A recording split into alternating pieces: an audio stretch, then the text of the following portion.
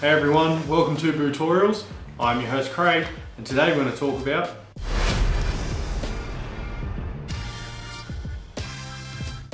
So when we're talking about stretching ski boots, it's all about altering and manipulating the plastic shell to better match the dimensions of your foot.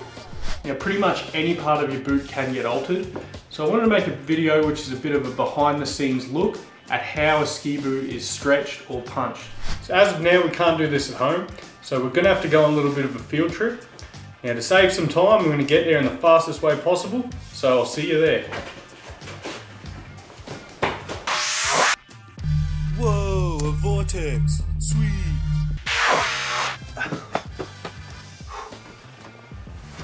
Made it. Alright, so this is where all the business happens. Now I want to run you through the most common stretches getting done. And the first one we can look at is widening the forefoot, so getting a width stretch through the front, and that's usually down this lateral side. So a great tool for this is what's known as the jumbo. Now what we can do with this as well is actually add some foam padding to really customize the shape to your foot. And, and then what it does once it's in there is widens out with the crank. So then we can take a look at the toe box and here we can get a little bit extra length uh, but most common is to actually just widen or reshape the toe box area.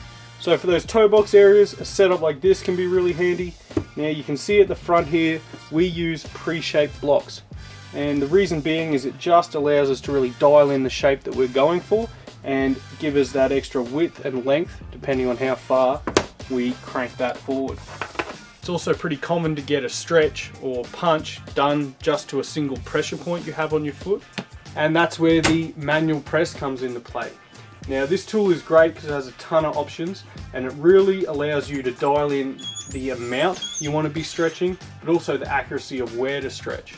So it's great for those ankles, navicular bones, bunions, tailor's bunions, any other fleshy parts of the foot you can get a really great stretch out of the manual press. And lastly we'll look at the Ultra Cam. Now this tool is really handy for anyone that has a big mismatch of foot to shell. We can get a whole heap of tension when we stretch the boots. We can do both boots at the same time and we can really add a lot of volume. And this is really the lifesaver of any of those people with what I like to call Shrek foot as it's the tool that's going to allow that boot to really expand the volume and get you comfortable. Now you can't just guess where and how much to stretch the boot so it's really key to go back to that shell fitting process and mark out accurately what the points of contact are and where you're going to need extra space in the shell. Now the key to making sure that we get the ski boot to stretch and hold it stretched properly is we've got to get the plastic hot enough to remold. And to do that is we've got to heat it pretty slowly and make sure that heat absorbs all the way through the thickness of the plastic. Now the risk of going too fast is you start to melt the outer plastic or you don't allow all that heat to transfer to the inside and the stretch won't hold. So this takes time. So I'm going to run you through the process here and you're going to get to see a few different stretches in action.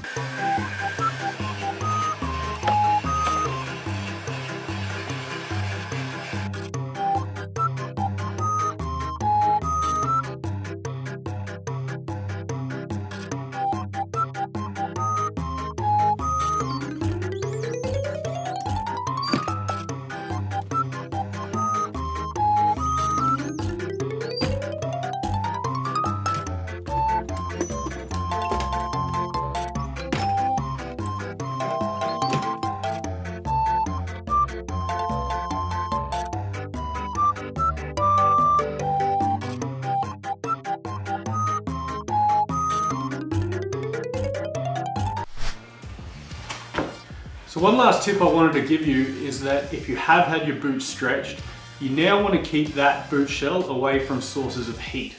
So that is any drying rooms, fires, or heaters. And the reason being is that plastic can actually retract that stretch if it gets hot again.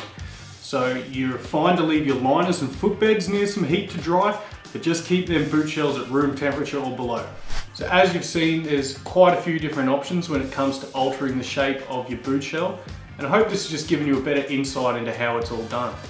Thanks for watching, stay rad, be a patriot, signing out.